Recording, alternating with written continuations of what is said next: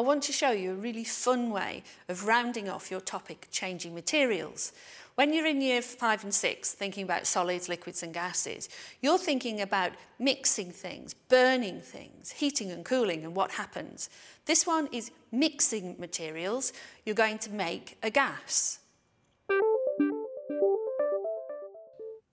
So what we're going to do is a bit of chemistry in your bath.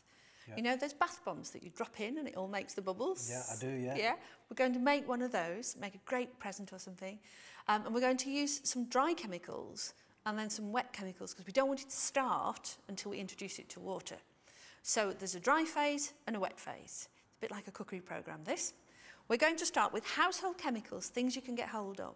Bicarbonate of soda, easy, you find that in the supermarket. Citric acid, which, yes, it's an acid, but so yeah. is vinegar and lemon juice. Yeah. It's the stuff that's in sherbet. And then a little bit of salt. You ready for this? Yeah. Okay then. So, two spoonfuls, they are dessert spoonfuls of bicarbonate of soda. Yeah.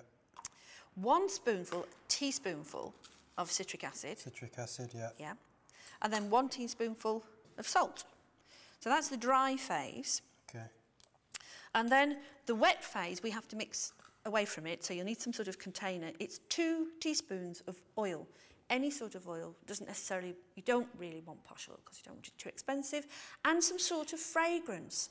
And you can get fragranced oils, potpourri type essential oils. Right. So you need about three or four drops of that, not too strong. But that's a bit boring, that yeah. colour. So up Yeah, I've bought some blue. Yeah. So a few drops of blue colouring. In there.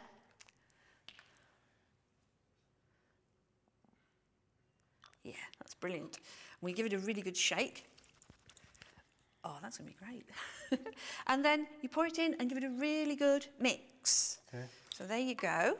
And whilst you're doing that, you can you need to sort of mold this into something. You could use an ice cube mold. You yeah. can get some really good ones. Little tiny cake cases. Mm -hmm.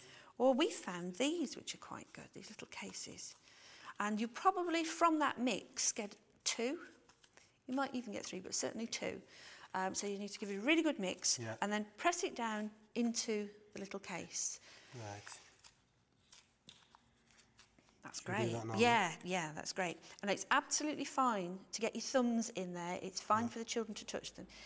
They'd have to wash their hands afterwards, but the stuff that you're using is things you would eat. Yeah. So, you know, it's, it's fine to get in and give it a really good press down. And that's just for it to take uh, the correct shape? Yes. Okay. That's brilliant. So, there we have it. We have to leave this to set overnight. So, it's the morning after, and the bath bomb's gone quite hard. It has? Yeah. So it's time to set the reaction off, to pop it in the bath. You had the dry phase, you had the wet phase, but had oil in it. So this reaction won't start until you add water. The salt doesn't really do anything, but you've got the, the bicarbonate of soda, which is an alkali, and it reacts with the citric acid, and it produces a gas. Um, if you were doing this in um, primary school, it would be in changing materials, irreversible reactions, because you're actually making a brand new material.